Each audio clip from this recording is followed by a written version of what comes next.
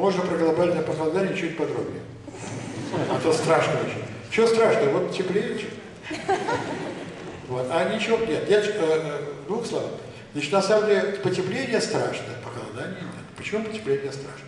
Вот очень, если кто не имеет возможности посмотреть фильм, лекцию трехчасовую основополагающего человека, который все это глобальное потепление, так сказать, затеял, Альберта Гора, известного государственного деятеля, и теперь уже человек причастный к науке, значит, то там, значит, что нам грозит в случае глобального потепления? Первое.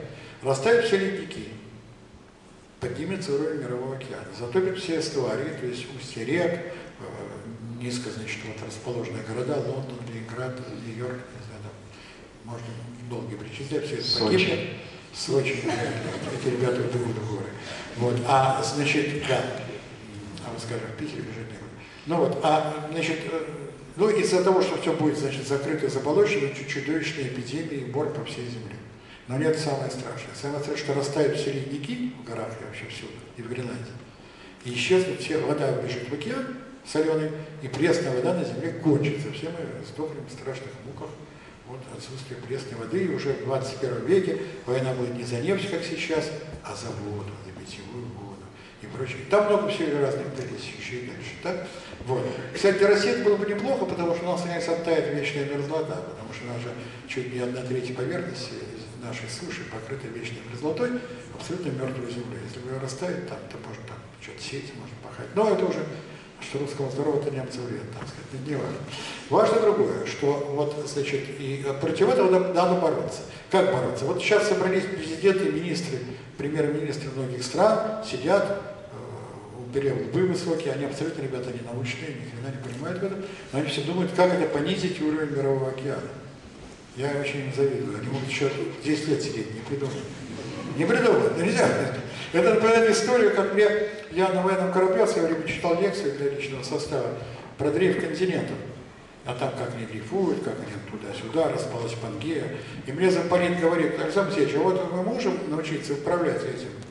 Я говорю, чем? Дрейфом континентов. «Э, мы это кто? Как это? Партия правительства. Ну что, говорю, Иван Сергеевич, это же миллионно-летний процесс. Человек не может этим управлять. Очень плохая у вас наука. Я вас уволю в следующий раз. Идите и научитесь. Этим ребятам было все равно. Ну и эти тоже самое. Так вот, ничего этого не будет. Ничего этого не будет. Дело в том, что действительно вы сейчас испытывали последние годы глобальное потепление.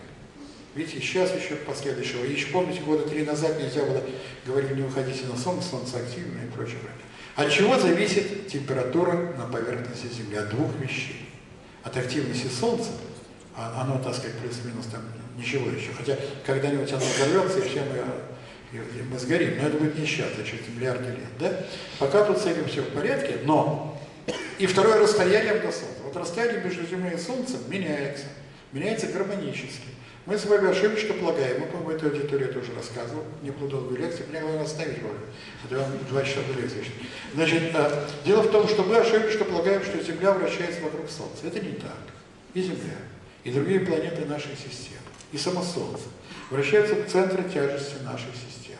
Это не одно и то же, потому что он мигрирует, поскольку огромные планеты типа Нептуна, там, с огромной массой, это же гравитационное взаимодействие, Нептун, там, Плутон, и все это меняется. И есть кривая, которую построили ученые за последние там, миллионы лет.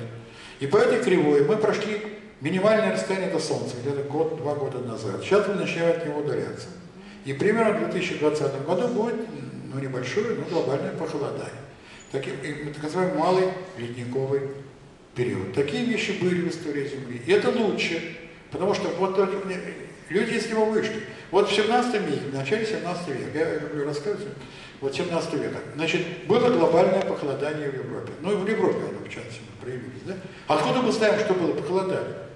Ведь э, единственная страна, где люди мерили температуру, была Британия. Британское адмиралтейство меняло в обязанность своим послам во всех странах мира, где бы ни был. Утром встал, похмелился, меряй температуру. Меряй температуру, где ты находишься. Поэтому в Москве, в дикой Москве, заметенной снегами, да, значит, мерили эту температуру. И что оказалось? Что, значит, э, в 1601 году Гибралтар замерз, Босфор замерз, э, в Венеции товар возили по льду. И, значит, и это имело огромное следствие. Вот посмотрите картины Питера Брейгля старшего. Или посмотрите картины малых голландцев, какие, какие зимы в Голландии, давно уж таких зим там нет, да? Вот. А, а в это время как раз эти самые герцы воевали с испанской короной, и герцог Альба и самая боеспособная пехота на континенте, испанская тяжелая пехота, задавила их до кордюжи. Читайте Кирилла Шмиля. И вдруг ударил мороз.